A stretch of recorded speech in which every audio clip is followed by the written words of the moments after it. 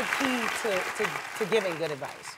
I think the key to giving good advice is being honest but not hurtful. Right. And I'm not a I told you so kind of person. You know Right. your friends that are like, I already told you that was gonna happen. You should have Right. did that. Like that's so judgmental. Like I like to listen and give honest but not hurtful advice. I, I think that's a great idea. And I read part of that in your book, and you said you had a cousin who was young and Right. she's dating, and everybody's concerned about Right. who she's dating and, and, the, and her age. And, and one thing that you talked about was um, not everyone's saying hey, you're going to date so many other people and Right. push, you know, pushing someone away mm-hmm. or talking badly about the person they're madly in love with at just- 16, 17. Right. And understanding what was important to us at that age. This same cousin that you're talking about called me yesterday, hysterical crying because she found out someone bought her same prom dress. So I had to think at 17, Right. that is a crisis. you don't want to go to the prom and somebody has the same No. dress as you. So I, instead of being like, why are you crying about that? I'm like. I understand. We'll fix it. It'll be okay. And it's the same with relationships. You know,